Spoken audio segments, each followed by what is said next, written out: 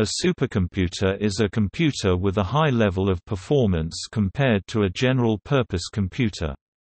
The performance of a supercomputer is commonly measured in floating point operations per second flops instead of million instructions per second MIPS. Since 2017, there are supercomputers which can perform up to nearly a hundred quadrillion flops. Since November 2017, all of the world's fastest 500 supercomputers run Linux-based operating systems. Additional research is being conducted in China, the United States, the European Union, Taiwan and Japan to build even faster, more powerful and more technologically superior exascale supercomputers. Supercomputers play an important role in the field of computational science, and are used for a wide range of computationally intensive tasks in various fields, including quantum mechanics, weather forecasting, climate research, oil and gas exploration, molecular modeling computing the structures and properties of chemical compounds, biological macromolecules, polymers, and crystals, and physical simulations such as simulations of the early moments of the universe, airplane and spacecraft aerodynamics, the detonation of nuclear weapons, and nuclear fusion. Throughout their history, they have been essential in the field of cryptanalysis. Supercomputers were introduced in the 1960s, and for several decades the fastest were made by Seymour Cray at Control Data Corporation (CDC), Cray Research, and subsequent companies bearing his name or monogram. The first such machines were highly tuned conventional designs that ran faster than their more general-purpose contemporaries. Through the 1960s, they began to add increasing amounts of parallelism with 1 to 4 processes being typical. From the 1970s, vector processors operating on large arrays of data came to dominate. A notable example is the highly successful Cray-1 of 1976.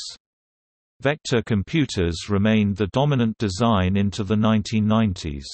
From then until today, massively parallel supercomputers with tens of thousands of off-the-shelf processors became the norm. The US has long been the leader in the supercomputer field, first through Cray's almost uninterrupted dominance of the field, and later through a variety of technology companies. Japan made major strides in the field in the 1980s and 90s, but since then China has become increasingly active in the field. As of November 2018, the fastest supercomputer on the TOP 500 supercomputer list is the Summit, in the United States, with a LINPACK benchmark score of 143.5 petaflops, followed by Sierra, by around 48.860 petaflops. The US has five of the top 10 and China has two, in June of 2018, all supercomputers on the list combined have broken the 1 exabyte mark.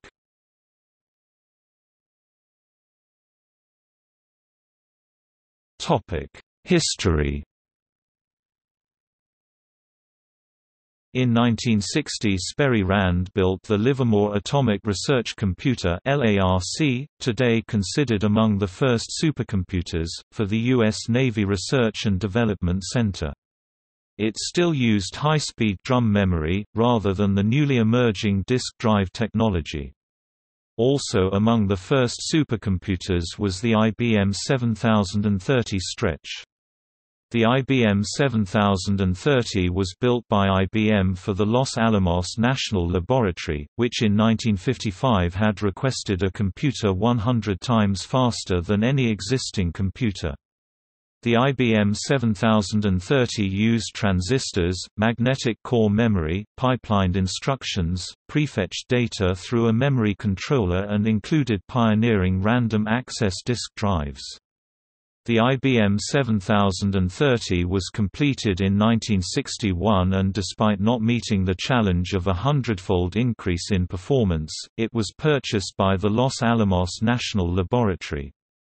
Customers in England and France also bought the computer and it became the basis for the IBM 7950 Harvest, a supercomputer built for cryptanalysis. The third pioneering supercomputer project in the early 1960s was the Atlas at the University of Manchester, built by a team led by Tom Kilburn.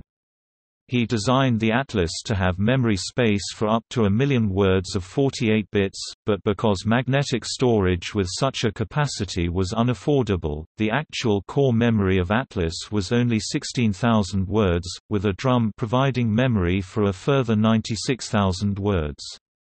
The Atlas operating system swapped data in the form of pages between the magnetic core and the drum.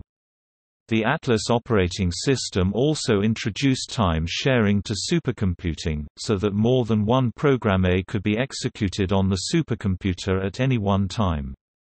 Atlas was a joint venture between Ferranti and the Manchester University and was designed to operate at processing speeds approaching 1 microsecond per instruction, about 1 million instructions per second. The CDC 6600, designed by Seymour Cray, was finished in 1964 and marked the transition from germanium to silicon transistors. Silicon transistors could run faster and the overheating problem was solved by introducing refrigeration to the supercomputer design. Thus the CDC 6600 became the fastest computer in the world. Given that the 6600 outperformed all the other contemporary computers by about 10 times, it was dubbed a supercomputer and defined the supercomputing market. When 100 computers were sold at $8 million each, Cray left CDC in 1972 to form his own company, Cray Research. Four years after leaving CDC, Cray delivered the 80 MHz Cray 1 in 1976, which became one of the most successful supercomputers in history. The Cray 2 was released in 1985. It had eight central processing units CPUs, liquid cooling and the electronics coolant liquid fluorinates was pumped through the supercomputer architecture. It performed at 1.9 gigaflops and was the world's second fastest after M13 supercomputer in Moscow. Topic massively parallel designs The only computer to seriously challenge the Cray 1's performance in the 1970s was the ILLIAC-IV.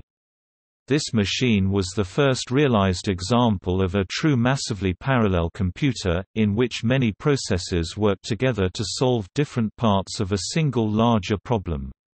In contrast with the vector systems, which were designed to run a single stream of data as quickly as possible, in this concept, the computer instead feeds separate parts of the data to entirely different processors and then recombines the results.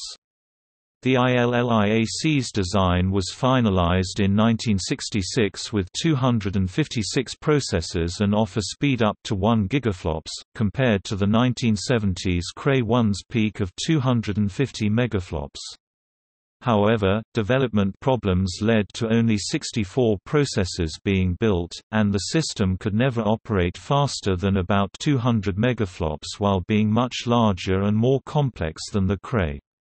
Another problem was that writing software for the system was difficult, and getting peak performance from it was a matter of serious effort. But the partial success of the ILLIAC-IV was widely seen as pointing the way to the future of supercomputing. Cray argued against this, famously quipping that if you were plowing a field, which would you rather use? Two strong oxen or 1024 chickens, but by the early 1980s, several teams were working on parallel designs with thousands of processors, notably the Connection Machine that developed from research at MIT. The CM1 used as many as 65,536 simplified custom microprocessors connected together in a network to share data.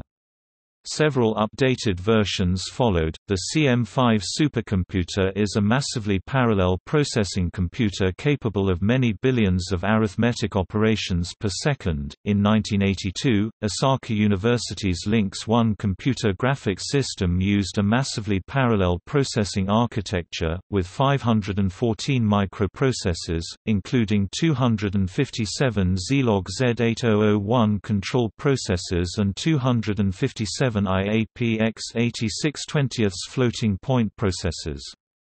It was mainly used for rendering realistic 3D computer graphics. Fujitsu's numerical wind tunnel supercomputer used 166 vector processors to gain the top spot in 1994 with a peak speed of 1.7 gigaflops GFLOPS per processor. The Hitachi State Route 2201 obtained a peak performance of 600 gigaflops in 1996 by using 2048 processors connected via a fast three-dimensional crossbar network. The Intel Paragon could have 1,000 to 4,000 Intel i860 processors in various configurations and was ranked the fastest in the world in 1993.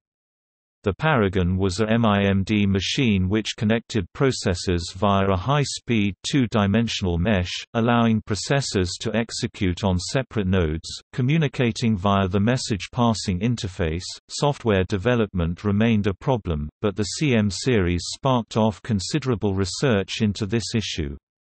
Similar designs using custom hardware were made by many companies, including the Evans and Sutherland S1, MasPar, N-Cube, Intel IPSC and the Goodyear MPP. But by the mid-1990s, general-purpose CPU performance had improved so much in that a supercomputer could be built using them as the individual processing units, instead of using custom chips. By the turn of the 21st century, designs featuring tens of thousands of commodity CPUs were the norm, with later machines adding graphic units to the mix. Systems with a massive number of processors generally take one of two paths. In the grid computing approach, the processing power of many computers, organized as distributed, diverse administrative domains, is opportunistically used whenever a computer is available. In another approach, a large number of processors are used in proximity to each other, e.g. in a computer cluster. In such a centralized massively parallel system the speed and flexibility of the interconnect becomes very important and modern supercomputers have used various approaches ranging from enhanced InfiniBand systems to three-dimensional torus interconnects.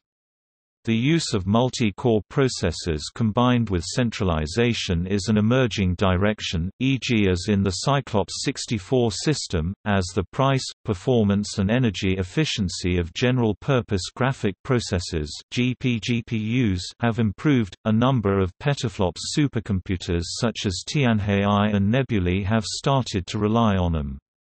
However, other systems such as the K computer continue to use conventional processors such as SPARC-based designs and the overall applicability of GPGPUs in general-purpose high-performance computing applications has been the subject of debate, in that while a GPGPU may be tuned to score well on specific benchmarks, its overall applicability to everyday algorithms may be limited unless significant effort is spent to tune the application towards it. However, GPUs are gaining ground and in 2012 the Jaguar supercomputer was transformed into Titan by retrofitting CPUs with GPUs. High-performance computers have an expected life cycle of about three years before requiring an upgrade.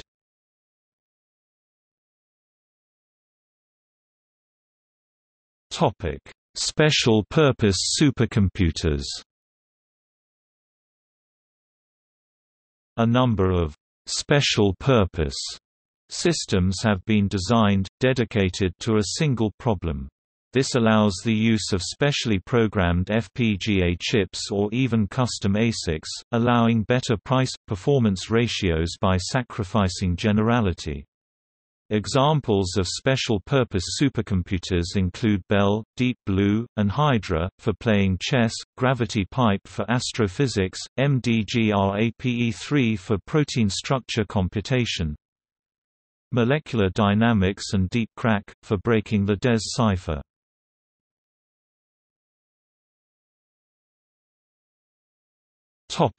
Energy usage and heat management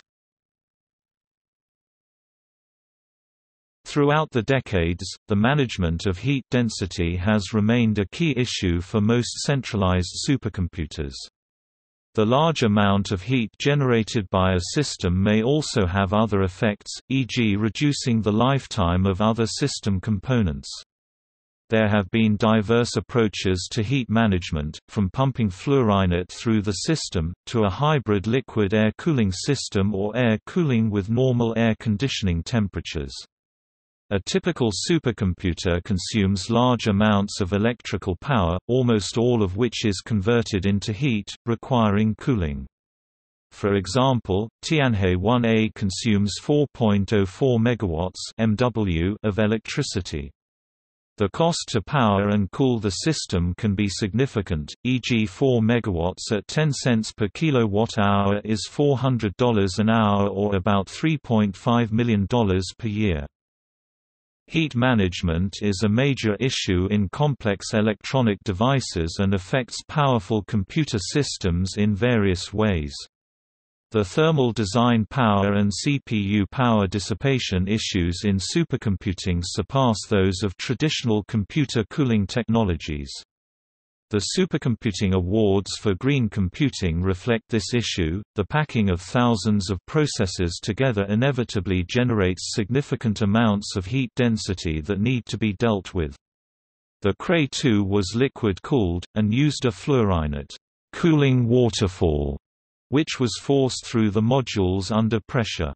However, the submerged liquid cooling approach was not practical for the multi-cabinet systems based on off-the-shelf processors, and in System X a special cooling system that combined air conditioning with liquid cooling was developed in conjunction with the Liebert Company. In the Blue Gene system, IBM deliberately used low-power processors to deal with heat density.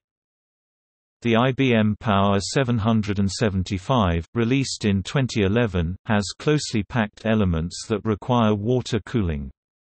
The IBM Aquasar system uses hot water cooling to achieve energy efficiency, the water being used to heat buildings as well. The energy efficiency of computer systems is generally measured in terms of flops per watt in 2008, IBM's Roadrunner operated at 3.76 megaflops, W.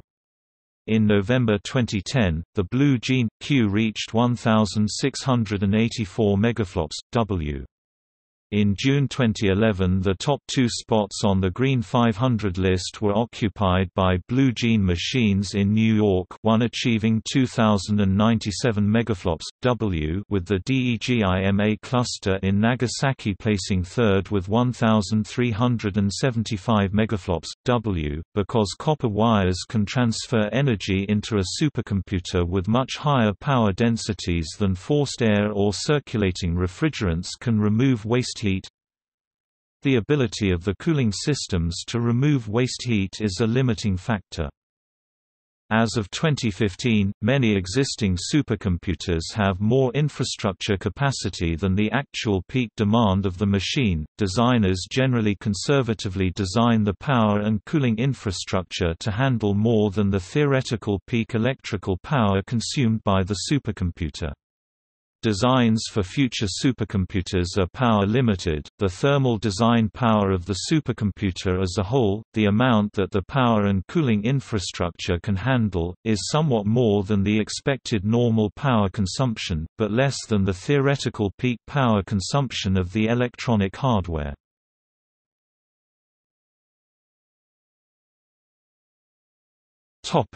Software and system management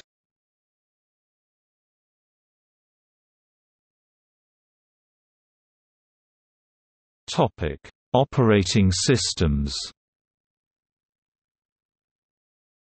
Since the end of the 20th century, supercomputer operating systems have undergone major transformations, based on the changes in supercomputer architecture. While early operating systems were custom-tailored to each supercomputer to gain speed, the trend has been to move away from in-house operating systems to the adaptation of generic software such as Linux.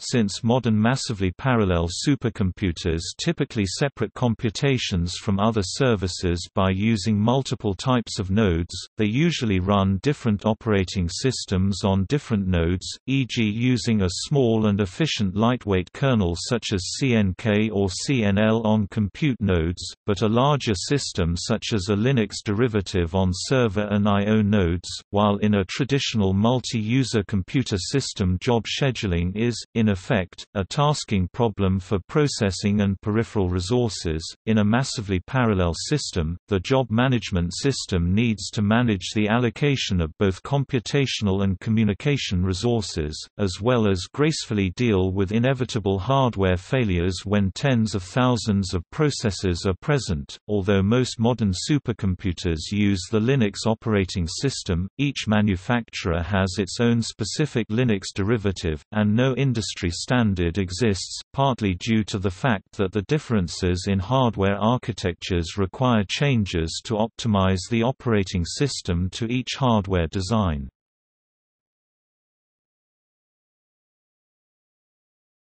Topic: Software tools and message passing. The parallel architectures of supercomputers often dictate the use of special programming techniques to exploit their speed. Software tools for distributed processing include standard APIS such as MPI and PVM, VTL, and open-source-based software solutions such as Beowulf.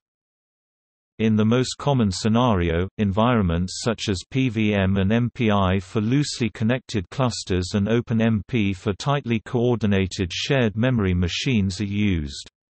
Significant effort is required to optimize an algorithm for the interconnect characteristics of the machine it will be run on. The aim is to prevent any of the CPUs from wasting time waiting on data from other nodes. GPGPUs have hundreds of processor cores and are programmed using programming models such as CUDA or OpenCL. Moreover, it is quite difficult to debug and test parallel programs. Special techniques need to be used for testing and debugging such applications.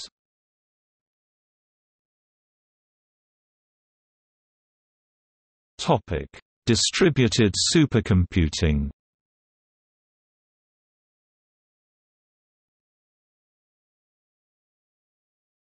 Topic: Opportunistic approaches. Opportunistic supercomputing is a form of networked grid computing whereby a super virtual computer of many loosely coupled volunteer computing machines performs very large computing tasks. Grid computing has been applied to a number of large-scale embarrassingly parallel problems that require supercomputing performance scales. However, basic grid and cloud computing approaches that rely on volunteer computing cannot handle traditional supercomputing tasks such as fluid dynamic simulations. The fastest grid computing system is the Distributed Computing Project Folding at Home F at H. F at H reported 101 petaflops of x86 processing power as of October 2016. Of this, over 100 petaflops are contributed by clients running on various GPUs, and the rest from various CPU systems. The Berkeley Open Infrastructure for Network Computing platform hosts a number of distributed computing projects. As of February 2017, BOINC recorded a processing power of over 166 petaflops through over 762,000 active computers hosts on the network. As of October 2016, Great Internet Mersenne Prime Searchers GIMPs distributed Mersenne Prime Search achieved about 0.313 petaflops through over 1.3 million computers. The Internet PrimeNet server supports GIMPS's grid computing approach, one of the earliest and most successful grid computing projects, since 1997.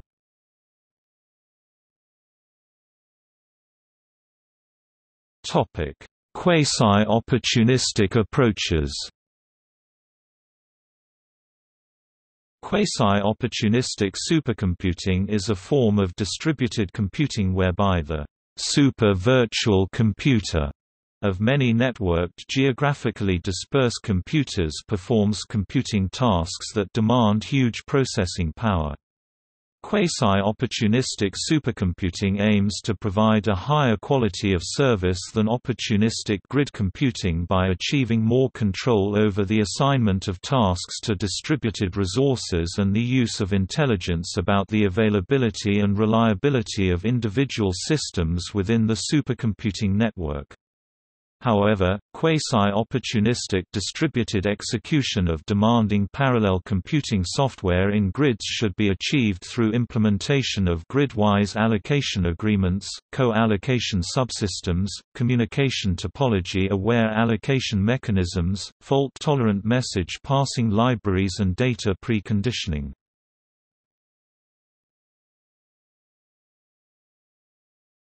Topic HPC in the cloud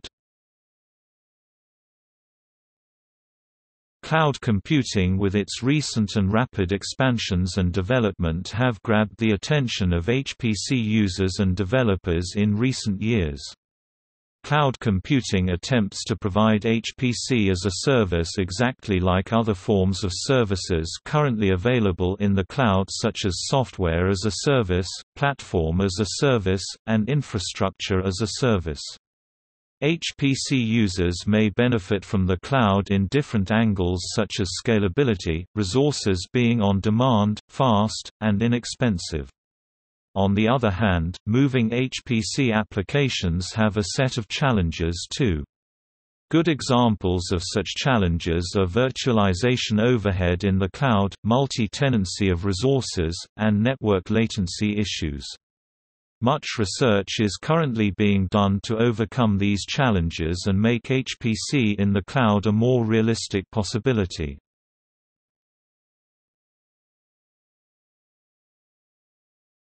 Topic: Performance measurement.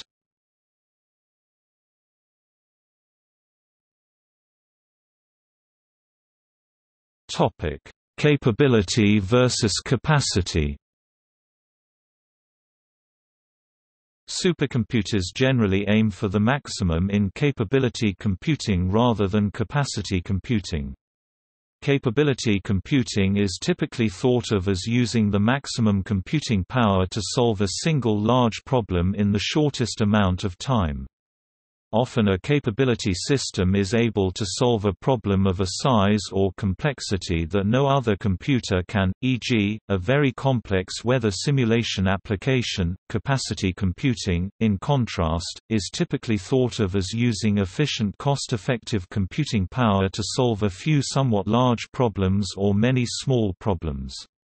Architectures that lend themselves to supporting many users for routine everyday tasks may have a lot of capacity but are not typically considered supercomputers, given that they do not solve a single very complex problem.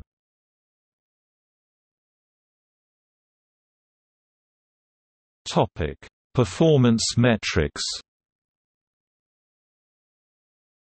In general, the speed of supercomputers is measured and benchmarked in flops floating point operations per second, and not in terms of MIPS million instructions per second, as is the case with general-purpose computers.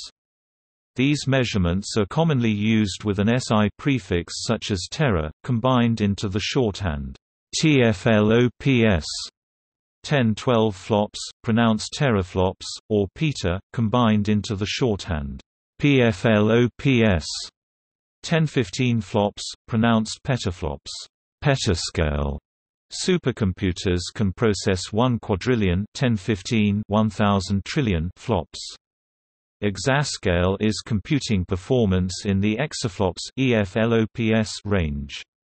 An EFLOPS is 1 quintillion 1018 flops 1 million TFLOPS. No single number can reflect the overall performance of a computer system, yet the goal of the LINPACK benchmark is to approximate how fast the computer solves numerical problems and it is widely used in the industry. The FLOPS measurement is either quoted based on the theoretical floating point performance of a processor, derived from manufacturer's processor specifications and shown as R-peak in the TOP 500 lists, which is generally unachievable when running real workloads, or the achievable throughput, derived from the LINPACK benchmarks and shown as R-max in the TOP 500 list. The LINPACK benchmark typically performs LU decomposition of a large matrix. The LINPACK performance gives some indication of performance for some real-world problems, but does not necessarily match the processing requirements of many other supercomputer workloads, which for example may require more memory bandwidth, or may require better integer computing performance, or may need a high-performance I.O. system to achieve high levels of performance.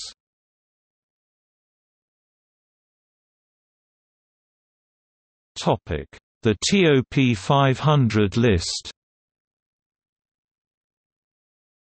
Since 1993, the fastest supercomputers have been ranked on the TOP 500 list according to their LINPACK benchmark results. The list does not claim to be unbiased or definitive, but it is a widely cited current definition of the fastest supercomputer available at any given time. This is a recent list of the computers which appeared at the top of the TOP 500 list, and the peak speed is given as the R-max rating.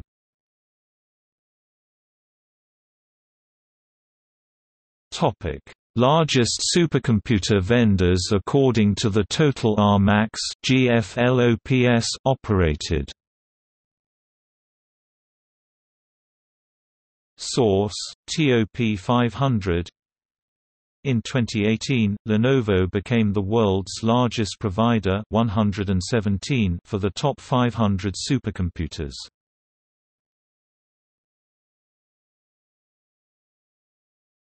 Topic: Applications. The stages of supercomputer application may be summarized in the following table the IBM Blue Gene P computer has been used to simulate a number of artificial neurons equivalent to approximately 1% of a human cerebral cortex, containing 1.6 billion neurons with approximately 9 trillion connections. The same research group also succeeded in using a supercomputer to simulate a number of artificial neurons equivalent to the entirety of a rat's brain. Modern day weather forecasting also relies on supercomputers. The National Oceanic and Atmospheric Administration uses supercomputers to crunch hundreds of millions of observations to help make weather forecasts more accurate. In 2011, the challenges and difficulties in pushing the envelope in supercomputing were underscored by IBM's abandonment of the Blue Waters Petascale project. The Advanced Simulation and Computing Program currently uses supercomputers to maintain and simulate the United States nuclear nuclear stockpile.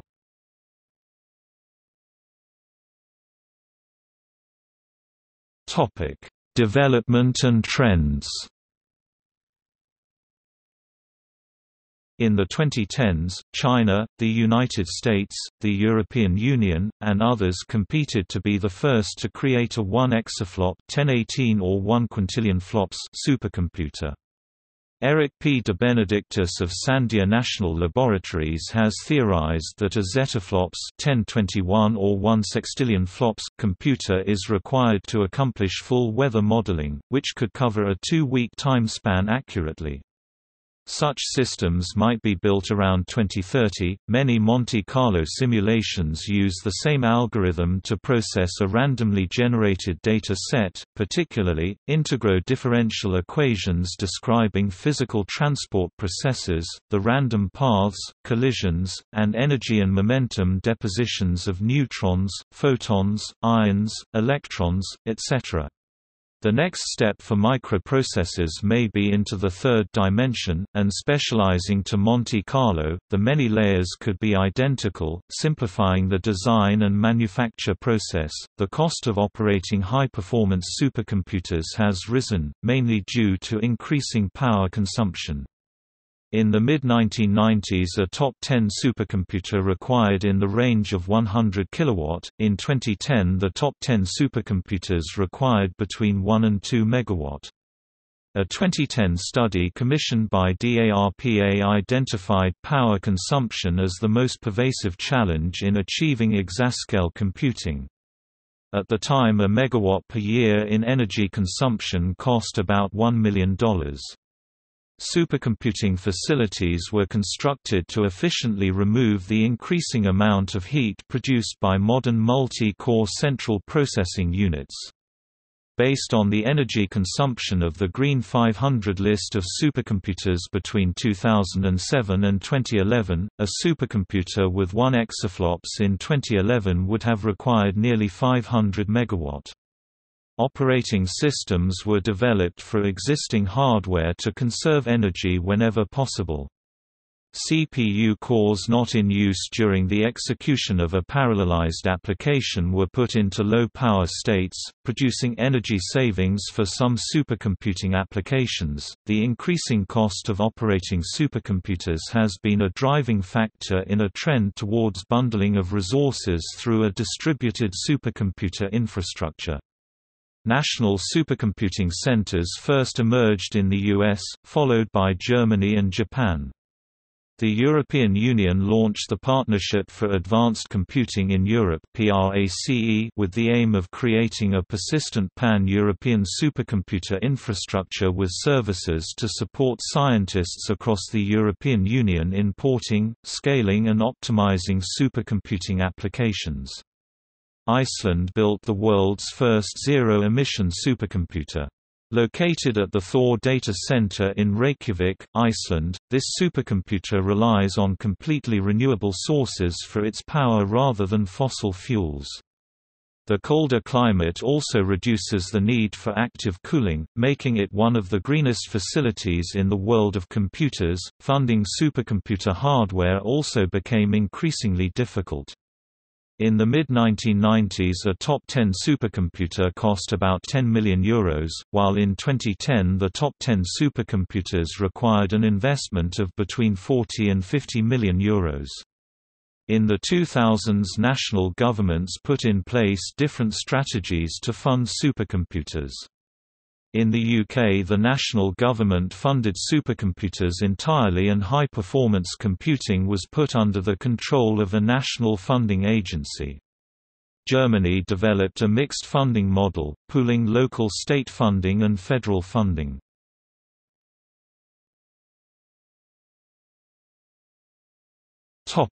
In fiction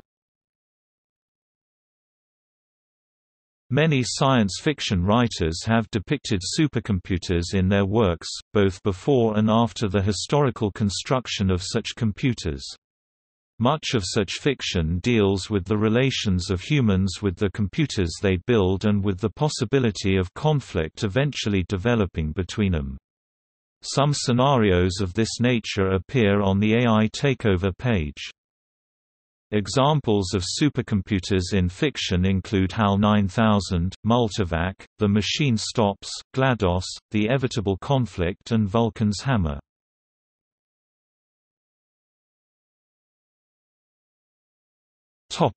See also. ACM, IEEE Supercomputing Conference.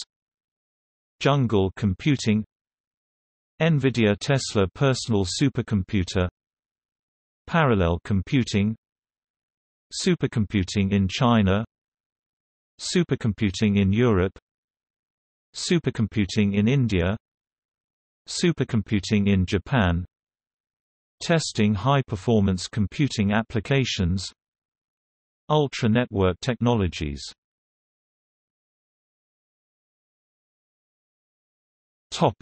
Notes and references.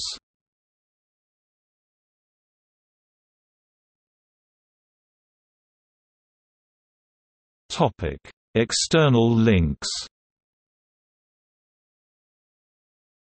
A tunable, software-based DRAM error detection and correction library for HPC Detection and correction of silent data corruption for large-scale high-performance computing Network Computer, industry's fastest enterprise job scheduler